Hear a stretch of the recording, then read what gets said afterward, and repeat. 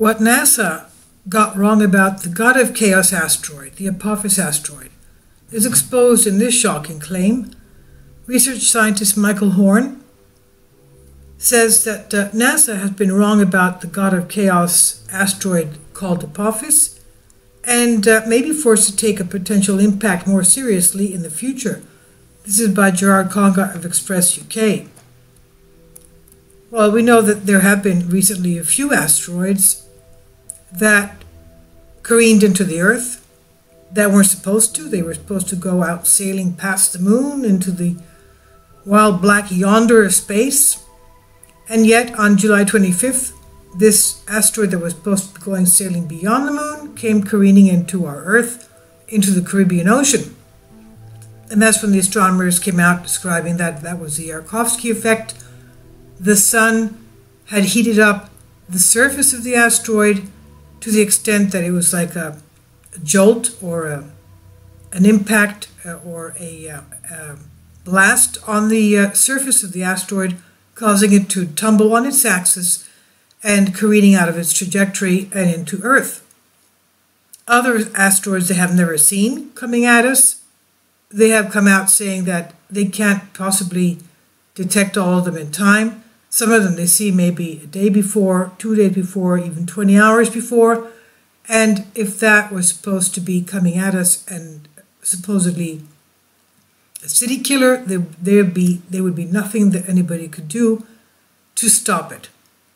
Now, research scientist and official representative for Billy Meier, Michael Horn, insists that NASA has previously been wrong about their predictions of the Apophis asteroid meaning the god of chaos asteroid. During an interview with Express, he claimed the space agency NASA would likely now be taking the dangers of the asteroid more seriously. Horn said NASA firstly dismissed the possibility that Apophis would hit the Earth. They have changed that multiple times now. Fortunately, they are seemingly taking a little more seriously the fact that it can careen into, into Earth. But initially they were completely dismissed of it, he said. Then they had to correct their own size estimate of Apophis to within 25 meters of what the original discoverer, a man named Billy Meier, stated. Meier first published his info on Apophis.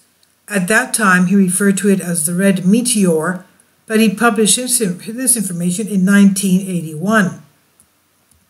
That was about the near certainty of Apophis eventually impacting the Earth. He published that 23, 23 years before NASA's so called discovery in 2004. He says, he goes on to say, I want to state up front I am not an astrophysicist nor a mathematician, but NASA had to change their estimate and calculations. There may have been a number of factors that they had to take into consideration, and we might hit one or two of them in that discussion. NASA already begun preparations for the arrival of asteroid Apophis, dubbed the God of Chaos asteroid, which will skim past our Earth in 10 years. The asteroid measures about 340 meters across, it's about uh, 1,200 feet across, and will pass within just 19,000 miles of Earth's surface.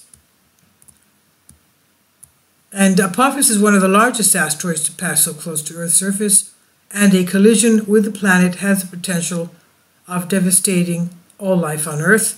The asteroid is set to get closer to the Earth than communications and weather satellites that are in orbit around our Earth. Most satellites in Earth's orbit are geostationary, orbit 36,000 kilometers away. That's 22,236 miles from the planet.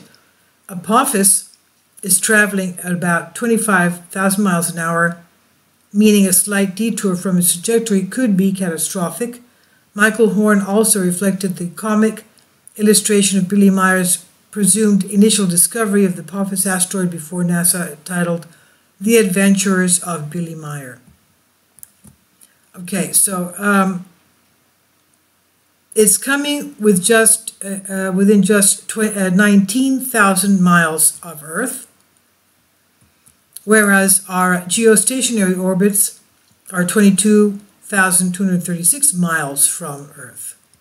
So it will be closer to us than our, our satellites are. Um, okay, and we, let's remember what happened this past April. They were having a tabletop asteroid mitigation exercise. They have that every two years. And the details they took were just about the size and the time frame and even, you know, the month of the year of Apophis coming in. And uh, supposedly they did not pass that. Something happened, and uh, it was only table, tabletop exercise. It happens every two years. The next time it's going to happen sometime in Europe. Um, anyway, this past one they had um, in Maryland, I think, and they didn't pass that. Supposedly they nuked the asteroid, and part of it came off and slammed into New York City, and that caused a disaster there. So um, that's not even the real thing. That's why they have the uh, asteroid mission for the Didymos, Didymos asteroid, the Didymos and the Little Moon, the uh, uh, big main uh, asteroid. It's a double asteroid.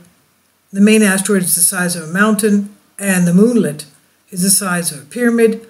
And they're going to smash an aircraft into the little moonlet that's the size of a pyramid to see if they can nudge it significantly out of its trajectory.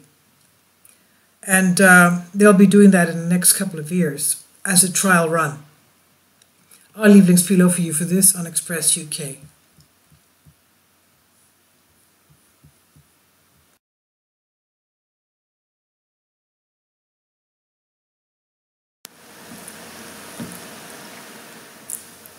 If you'd like to join me on my Patreon account, you will hear content not covered by mainstream media. These riveting stories will be based on my research, and I will state my opinions and give my personal insight on diverse and controversial subjects and world events, events not covered by mainstream media, and not certainly on not supported by YouTube guidelines. So whatever I have on my Patreon, most of those will not be on my YouTube channel. Please consider becoming a member today.